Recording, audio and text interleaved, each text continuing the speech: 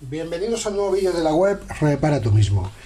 El presente vídeo está dedicado a el motor de eh, la lavadora. Es un tema que ya he tocado en diferentes ocasiones, ya me habéis visto cambiar en dos ocasiones anteriores eh, las escobillas del motor de mi lavadora. Las misma, la misma la tengo inclinada, he sacado el motor, no lo voy a volver a explicar ya que está detallado en otros vídeos y considero que tampoco no hay que aburrir el tema. Pues nada, eh, la lavadora tiene las escobillas gastadas, ya en la anterior reparación no tenía un recambio nuevo para poderle colocar y lo que hice fue colocarle unas escobillas gastadas que tenía de eh, una reparación anterior, una que todavía le funcionaba la máquina y otra que tenía que no estaba gastada del todo. Ahora que he conseguido escobillas nuevas, pues voy a proceder a sustituir las mismas. ¿Cómo sacar el motor? Ya os lo digo, lo tenéis en otros vídeos, no vamos a aburrir el tema ese. Y nada, ya que tenemos el motor fuera, pues para sacar las escobillas,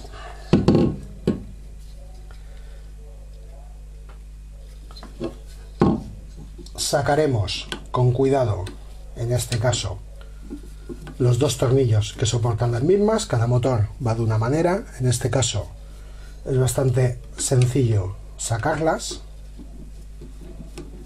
Hay que decir que las escobillas tienen posición, o sea, no podéis, eh, en este caso, no ir, perdón, en este caso, como vienen las mismas, viene una de este lado y otra, vale, habrá que girar una de ellas ya que eh, no vienen en el, en el sentido que toca, pero bueno, ahora veremos cómo se giran. Es lo que os quería comentar. Las escobillas tienen posición, o sea, al llevar una parte dentada, una parte inclinada, tenemos que ver cómo está montada la de la máquina para ver cómo montaríamos la escobilla nueva. Esta inclinación la tiene al revés, por lo tanto habrá que sacar la tapa y darle la vuelta, girar la escobilla. Ahora lo veremos. Sacamos el segundo tornillo y con cuidado, ya que pueden salir disparadas, sacamos la escobilla. En este caso tiene menos de un centímetro y medio. Tiene, diría que menos de un centímetro. Esta escobilla está gastada, ya os lo comento porque ya os lo he dicho que utilicé unas que eran viejas de una reparación anterior y sencillamente las mismas han funcionado, pero bueno, necesito cambiarlas para que no tengamos una avería en un día que realmente nos haga falta la lavadora y nos quedemos sin máquina. Para sacar la escobilla lo que hacemos es sacar la tapa de la carcasa y la misma lleva un conector Faston con seguro, que es lo que estaba mirando antes. Es una especie de pulsador que lleva el conector Faston en la parte posterior que si no pulsamos el mismo no nos permite extraer dicho conector. Es decir, el mismo cuando lo conectamos realiza un clip y queda enganchado y no nos permite que pueda salir. Debemos pulsar esta especie de seguro que lleva y podremos extraer el mismo. Sacamos la primera escobilla y vamos a ver las nuevas. Ambas vienen con el mismo sentido de inclinación, pues por lo tanto tengo que abrir una de ellas y girar la misma.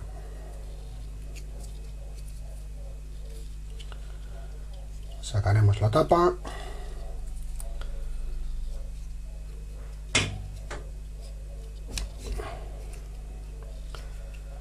Sacamos como veis la escobilla salta con el muelle. Veis la diferencia de una con la otra una gastada y la otra nueva. En el momento que la escobilla va llegando a las letras que lleva serigrafiadas la misma está gastada y se tiene que sustituir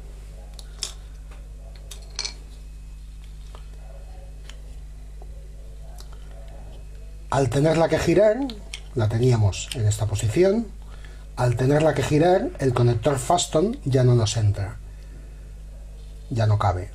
Pues por lo tanto, lo que habrá que hacer es doblar la parte posterior del conector Faston para que el mismo pueda insertarse, como está la otra que tenemos.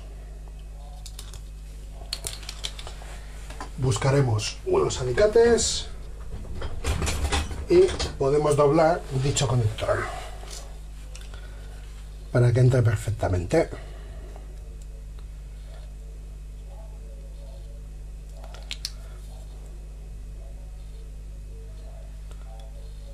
Le damos la inclinación adecuada, volvemos a comprobar y como veis la escobilla ya entra sin problemas en su habitáculo. Ya solamente es colocar la tapa. Ya la tenemos completamente insertada. Colocaríamos la tapa y la tendríamos lista para colocar en el motor. Previamente lo que voy a hacer es darle una pequeña pasada de lija a la parte metálica a fin de que la misma quede completamente limpia y que no suceda como en este caso que la misma, perdón, que la misma está oscurecida, por lo tanto puede hacer una mala conexión eléctrica.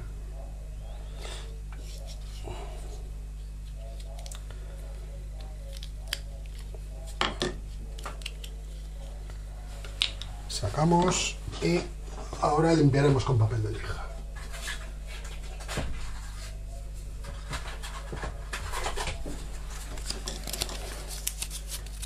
Con un trocito de papel le damos una pequeña pasada a fin de que quede brillante.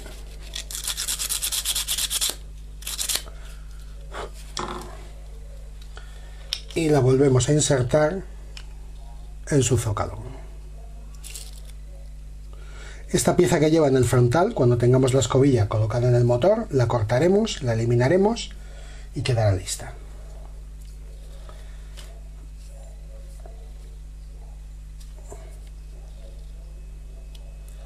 colocamos la tapa y antes de volverla a colocar en el motor podemos darle al mismo un toque de papel de lija para quitarle toda esta parte oscurecida que lleva que tiene el rotor y favorecer la conexión eléctrica.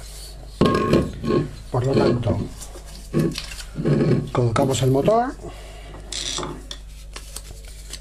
le aplicaremos un poquito de papel de lija y vamos girando el mismo con paciencia hasta limpiar toda esta parte del rotor. Mi amigo Daniel Páez de DP Asistencia, os recomiendo sus vídeos y su canal, lo pongo como link aquí abajo para que los visitéis porque la verdad es que tienen gran calidad y utilidad. Lo que hace es limpiar el rotor con una piedra pómez, una piedra de la utilizada en temas de, cosmética. Pero eh, para poderlo hacer tenéis que tener el motor alimentado. Como en este caso no lo tengo alimentado, no lo voy a limpiar con la piedra pómez que usa mi, mi amigo Daniel. Pero bueno, saludos Daniel, gran calidad tus vídeos. Poco a poco vamos dando papel de lija, vamos limpiando el rotor a fin de que quede brillante siempre con una lija de grado fino o grado medio fino. Y luego le daremos un toque de pincel a todo el rotor para que el mismo quede completamente limpio y resto de y, libre de pequeñas virutas eh, restos de carbonilla etcétera etcétera para que el mismo haga un buen aislamiento entre delga y delga. Vamos a colocar ya la escobilla y sustituiré la segunda. Antes de colocarla, colocaremos el conector Faston, ya que el mismo ha quedado un poco oculto y casi hay que acabar cazándolo. Ahí ha sonado el clic, ya tenemos, intentamos sacar y no sale. Colocamos la tapita.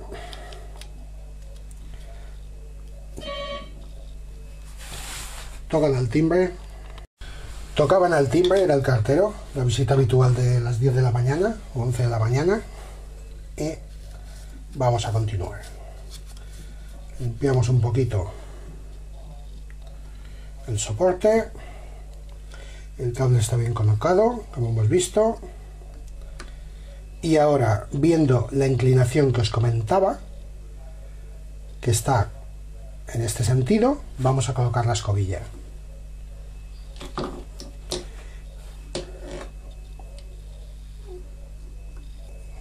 Antes de acabar de colocarla, o mejor dicho, cuando la tengamos ya colocada, pues lo que haremos será cortar esta pequeña pieza que nos realiza la función de freno.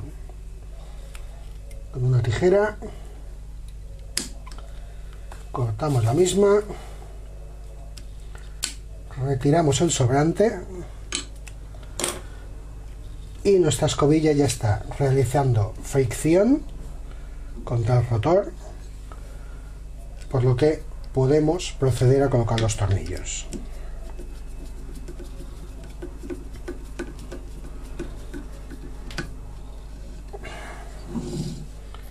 Primero segundo tornillo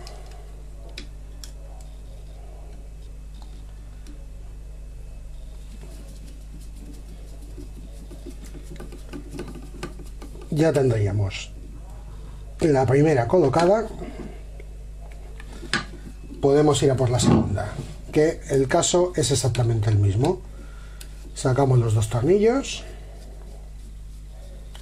Vamos a ver esta en qué estado está. Y continuaré con otra parte del vídeo ya que no quiero alargar el mismo excesivamente. Ponemos el dedo para que no salga disparada esta está un poquito más larga. Esta es una de las que, de las dos, una que tenía en mejor estado, que pude recuperar, eh, perdón, recuperar. Y si comparamos una con la otra, como veis, tampoco no se lleva mucha diferencia, pero bueno, una está más gastada que la otra. Siempre es normal en un motor que el mismo desgaste una de las dos escobillas más una que la otra. Estas en todo caso, ya que todavía no están acabadas de gastar, sobre todo esta, las volveré a guardar, ya que eh, para una próxima avería de problemas de escobillas, pues siempre me puede sacar de un apuro como pasó en el caso anterior, que tenía un par usadas, como el motor desgasta una más que la otra, pues con una usada y la que quedaba bien en el motor, pude colocarlas y salir del paso de la avería.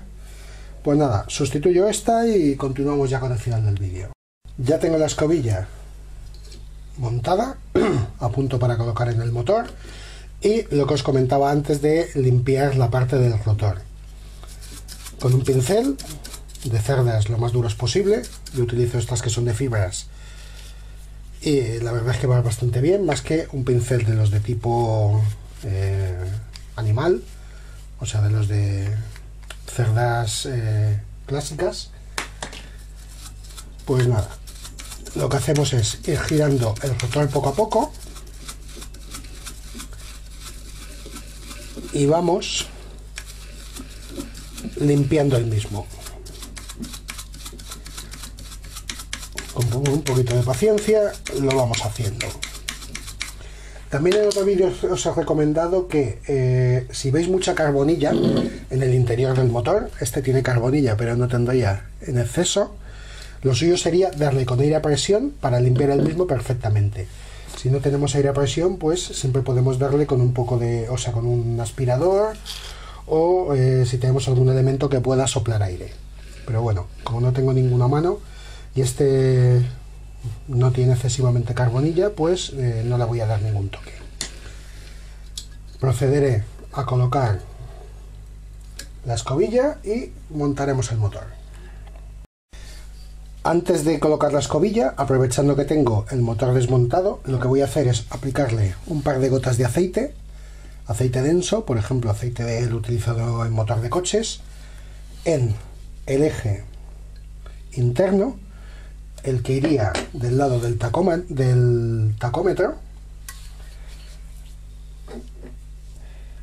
Y de esta manera intentar pues alargar un poquito la vida del motor. A ver si con una gotita de grasa o de aceite mejor dicho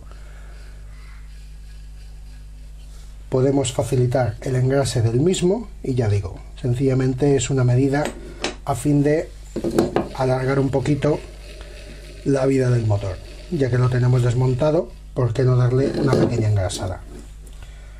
Daremos engrasada también al cojinete del lado de la polea.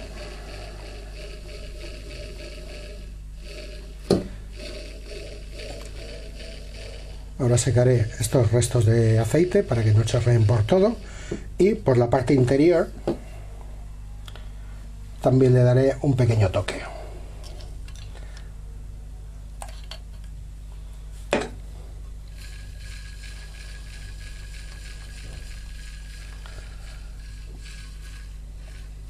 realmente ya digo, no sería totalmente necesario hacerlo, pero bueno, ya que estamos, pues no viene de más engrasar el motor a ver si podemos alargar la vida del mismo. Y también pues suena un poquito menos a la hora de girar, ya que las lavadoras de EBU la verdad es que el motor es bastante ruidoso.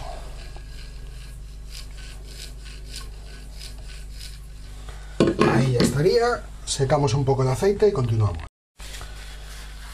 Con una servilleta o un papel absorbente secaremos los restos de aceite y empezaba a chorrear un poco el que le he aplicado en la parte interna al cojinete y secaremos el de la parte posterior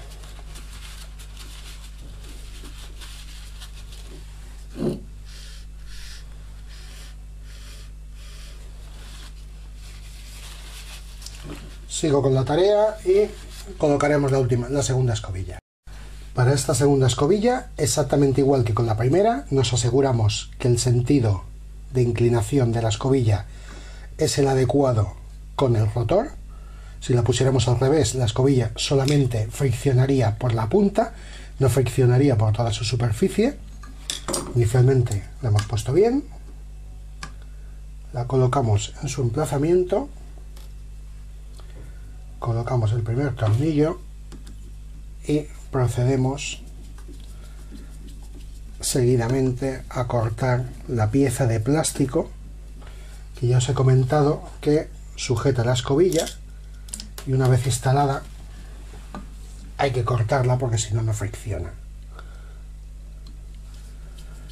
Ya tenemos el segundo.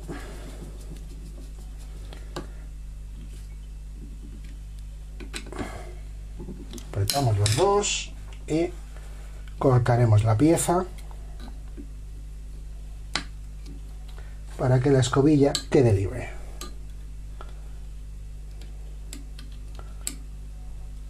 Retiramos la pieza de plástico que no se nos pierda por el interior del motor y ya están las dos escobillas friccionando adecuadamente.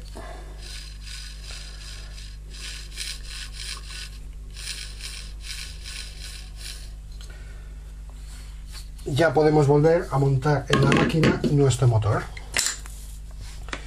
Pues nada, espero no haberme enrollado mucho, que os haya gustado. Bueno, aquí eh, si tuviéramos forma de poder conectar el motor para que el mismo girara, aplicaríamos la piedra de pómez al rotor. Yo he comprado esta piedra de pómez que es de la utilizada en cosmética, como veis es un pollo. He cortado unos pedazos y sería con el motor en marcha aplicar la misma al rotor a fin de rectificar todo el recorrido del mismo y que las escobillas realicen la fricción adecuadamente. En este caso, como no tengo cómo poderlo poner en marcha y demás, pues no lo voy a hacer. Que sepáis que es otra opción que tenemos para rectificar el rotor y que el mismo friccione adecuadamente. Espero que os haya gustado el vídeo, que no me haya enrollado mucho y nada, un saludo y que sigáis visitando la página web y los vídeos repara tú mismo. No nos marchamos todavía. Al final se ha ocurrido cómo podía realizar la rectificación de, con piedra pómez del rotor del motor y lo que he hecho ha sido volver a colocar la lavadora en su posición original, eh, asentada en el suelo y como veis el motor apoyado en el suelo llega su cable de alimentación para poder enchufar el motor. Voy a intentar colocar el mismo sobre una superficie y, por ejemplo, un cuenco nos puede servir.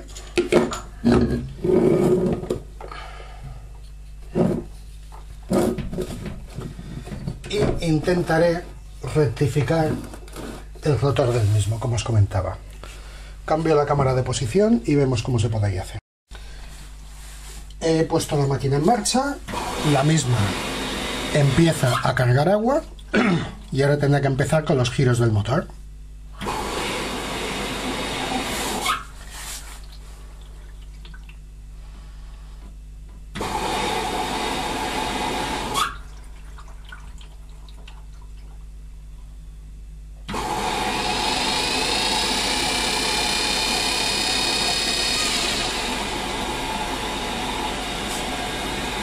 Esperamos que ya coja revoluciones como toca.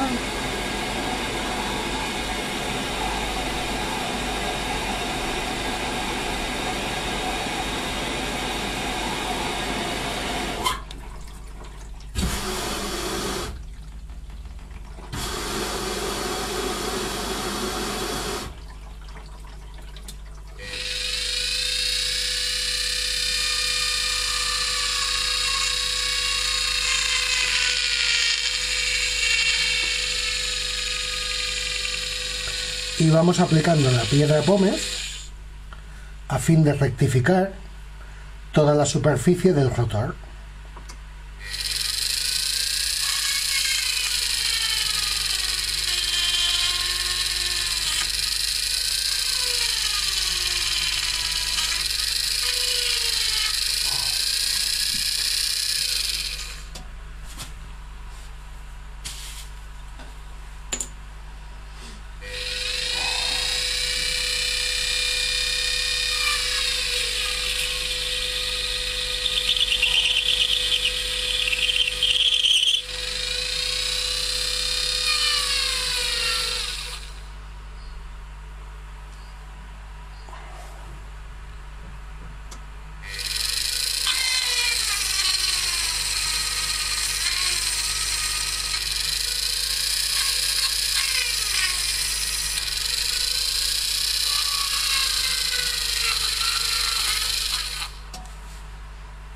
Ya lo tendríamos bastante limpio. Y ahora sería cuestión de parar la máquina y limpiar con un pincel toda esa esos pequeños restos de polvo y demás que se han generado para que quedase completamente listo el motor para colocar en la máquina. Pues nada, espero que os haya gustado el tema de la piedra pómez y que os pueda ser de utilidad a la hora de rectificar el rotor del motor. Un saludo y sobre todo gracias a mi amigo Daniel Páez por el consejo.